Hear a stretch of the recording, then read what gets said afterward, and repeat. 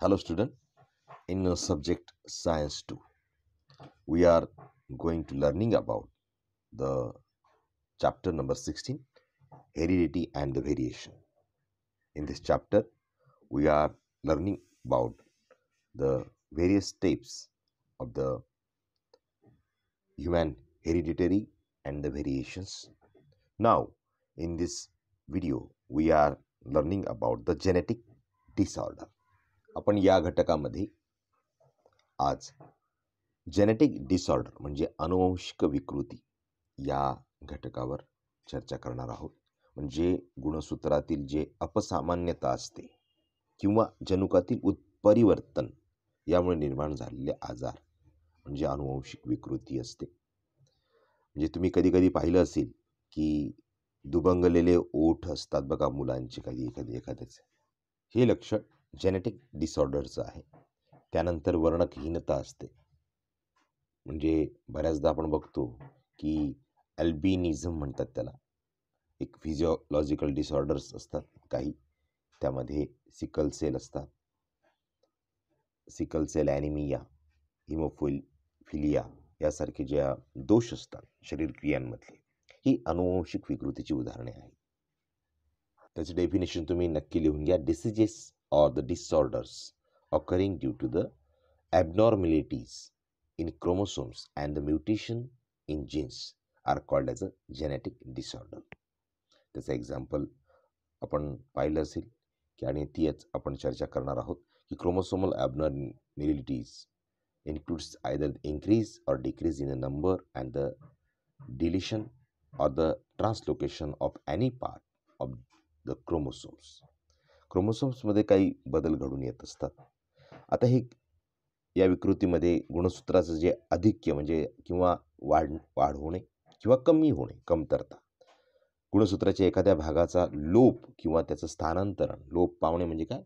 नष्ट होत जाणे आणि स्थानांतरण म्हणजे एका जागेतून दुसऱ्या जागेवर स्थानांतरित होणे. यामुळे हे दोष निर्माण होतात. In human being have the forty six chromosomes in the form of the twenty three pairs म्हणजे शेहेचाळीस गुणसूत्र असतात तेवीस जोड्यांच्या स्वरूपामध्ये there is a great variation in the size shape of these chromosomal pairs these pairs have been numbered out of twenty three pairs twenty two pairs are autosomes and one pair is a sex chromosome that is allosomes Chromosomes in women are represented as 44 plus XX and in men as a 44 plus XY. लक्षात घ्या गुणसूत्रांच्या जोड्यांचा आकार आणि आकारमान यामध्ये विविधता असते या जोड्यांचा जो अनुक्रमांक दिलेले आहेत त्यांना आणि गुणसूत्रांच्या ज्या तेवीस जोड्यांपैकी बावीस जोड्या ह्या अलिंगी गुणसूत्राच्या असतात म्हणजे ॲटोसोम्स म्हणतात त्यांना तर एक जोडी ही लिंग गुणसूत्राची असते त्याला ॲलोसोम्स म्हणतात.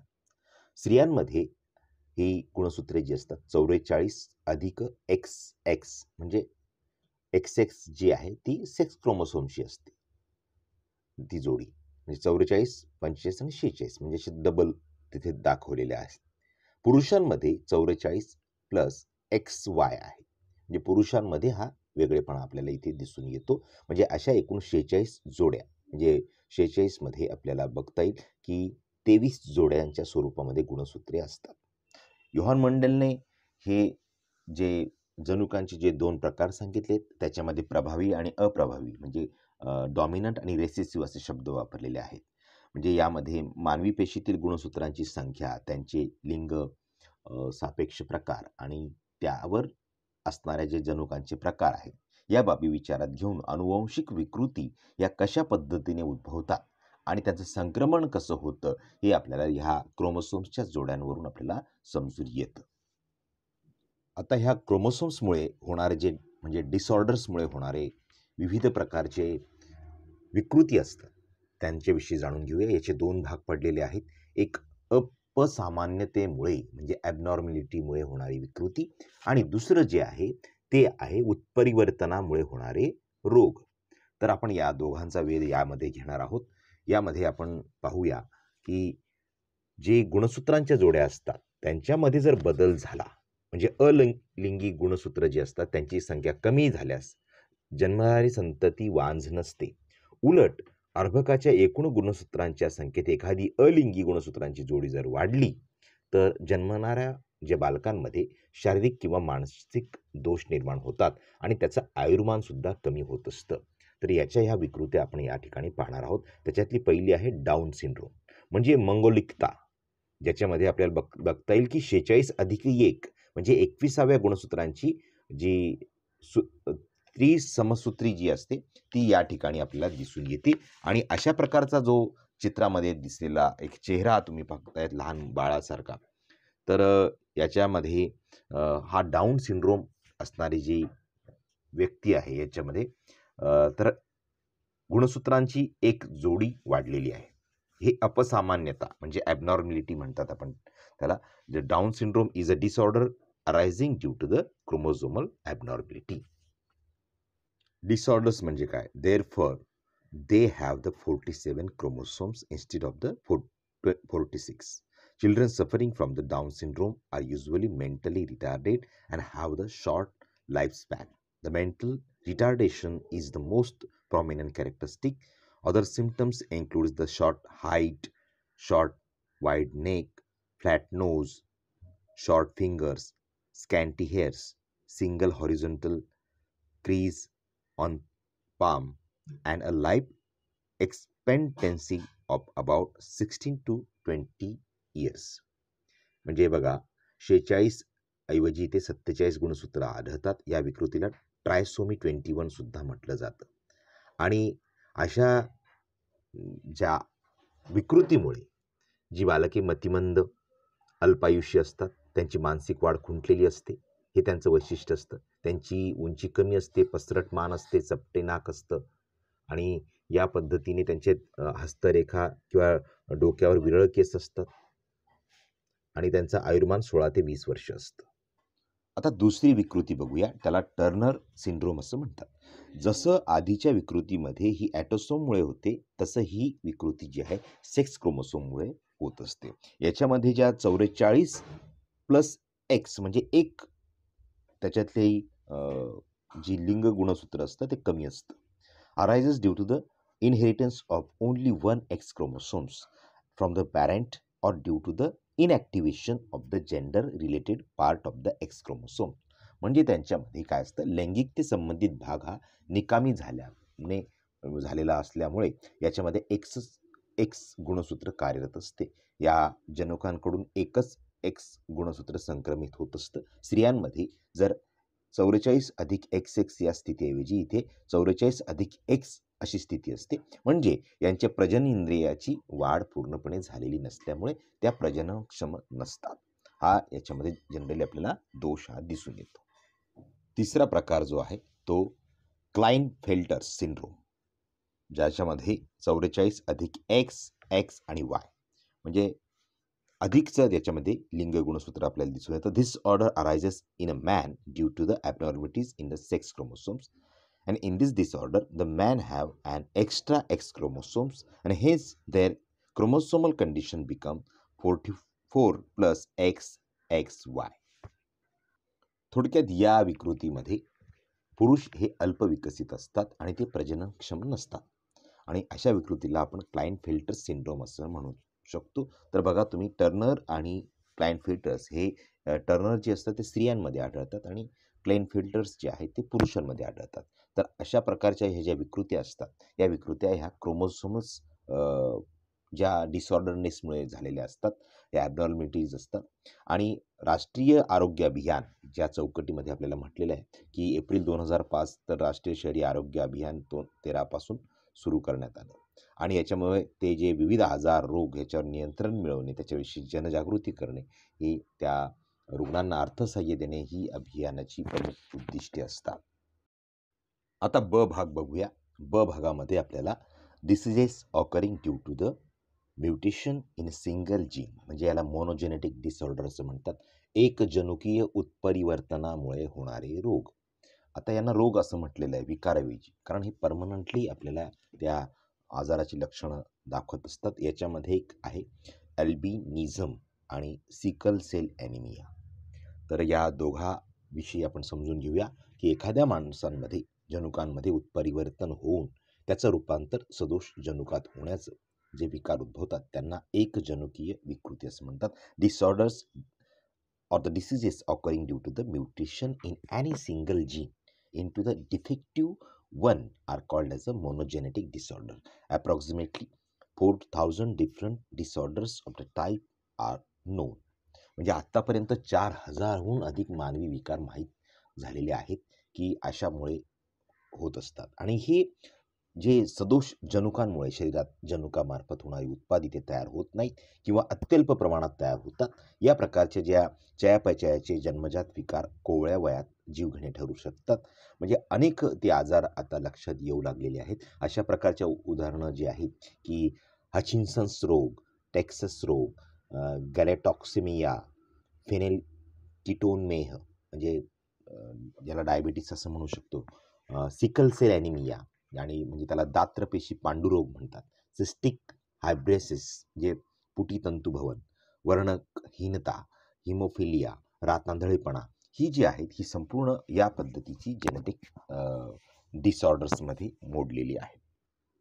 Albinism this is genetic disorder our eyes skin and hair have the colour due to the brown pigment melanin आपल्या शरीरामध्ये मेलॅनिन नावाच्या घटकांमुळे आपल्याला रंग त्वचेचा रंग डोळ्यांचा रंग आलेला असतो. पण या विकारामध्ये आपल्याला असं लक्ष देईल the body can not produce melanin and the skin become the pale hairs are the white and the eyes are usually pink due to the absence of the melanin pigment in this in the retina and the sclera मग हा जो विकार आहे याच्यामुळे जे डोळे सामान्यपणे गुलाबी असतात किंवा त्याच्या जे परितारिका किंवा दृष्टीपटल यामध्ये वर्णक नसतं. म्हणून बघा तुम्ही चित्रामध्ये छायाचित्रात तुम्हाला अशा प्रकारचा व्यक्तीचं चित्र तुम्हाला दिलेलं आहे. हे कायमस्वरूपी राहत असतं. ब मधील दुसरा विकार जो आहे तो म्हणजे सिकल सेल ॲनिमिया. सिकल म्हणजे काय? विळी. विळीचा आकारासारख्या पेशी तिथे होऊन जातात आणि त्या रक्तामध्ये असतात. ज्या आपण म्हणतो की प्रथिने डी एन ए इत्यादींसारख्या ज्या रचनेमध्ये कोणत्याही अगदी थोड्या बदलाचा परिणाम हा रोग किंवा विकार होण्यामध्ये होत असतो. म्हणजे हिमोग्लोबिनच्या रचनेमध्ये सहावे अमिनो आम्ल म्हणजे ग्लुटॉमिक आम्ल आणि त्याची जागा वलिन या आम्लाने घेतल्यास हिमोग्लोबिनच्या रेणूची रचना आकार बदलतो. त्यामुळे ज्या लोहित रक्तकणिका असतात म्हणजे काय? आपल्या लोह कणिका म्हणतात त्यांना त्याच्यामध्ये विवृत्ता का आकृती आलेली असते त्या विळ्यांसारखा झालेला असतो त्या लोहित कणिकांचा आकार. म्हणजे आपल्या आयर्न सेल्स असतात त्यांचा आकार तसा झालेला असतो. त्या स्थितीला आपण म्हणतो की एक सिकल सेल ॲनिमिया किंवा दात्रपेशी पांडुरोग असं सुद्धा म्हणतात. या बाधित व्यक्ती ज्या असतात त्यांच्या हिमोग्लोबिनची ऑक्सिजन वाहून नेण्याची कार्यक्षमता कमी होत असते.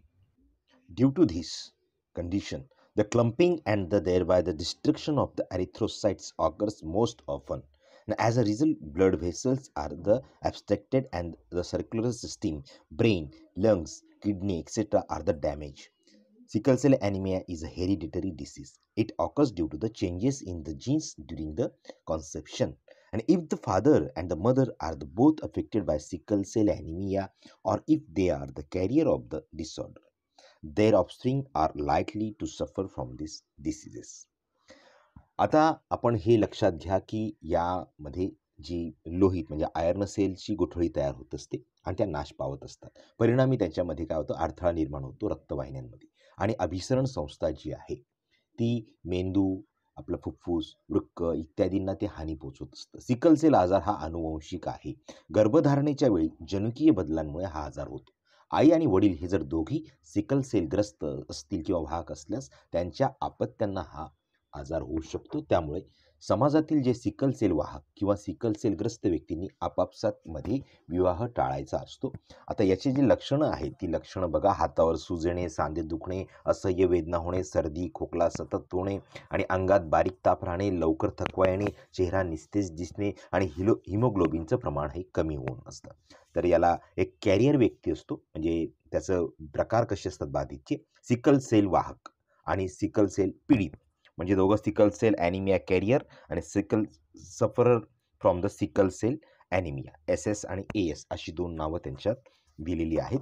आणि याच्यावर आधारित असणारे जे ॲनिमिया ऑकर्स तो आपल्याला खास करून मॅन आणि वुमनमध्ये आणि जी संतती असते त्याच्यामध्ये बघा एक चार्ट पण दिलेला आहे.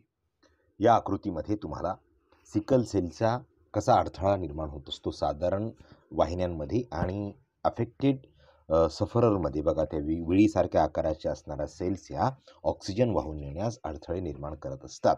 तर यांचाही एक तिथे चार्ट दिलेला आहे या संदर्भातला की ते जे पुरुष आणि स्त्रियांमध्ये जर संकेत चिन्ह दिले की नॉर्मल ए ए ए म्हणजे नॉर्मल आणि जे ए एस म्हणजे वाहक कॅरियर म्हणतो आपण त्याला एस एस म्हणजे काय?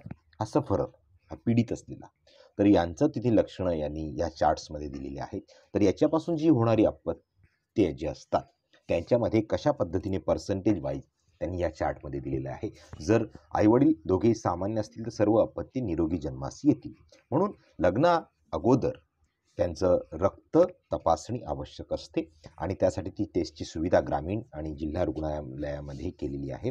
आणि याच्यामुळे म्हणजे जर त्या दोघांमध्ये विवाह झाला असेल जर दोघांमध्ये सिकल सेल असतील तर बघा शेवटच्या भागामध्ये सहाव्या पार्ट्समध्ये बघा एस एस एस एस म्हणजे ते दोघांमध्ये जर पीडित असतील तर सर्व पीडित अपत्य जन्माला येतात.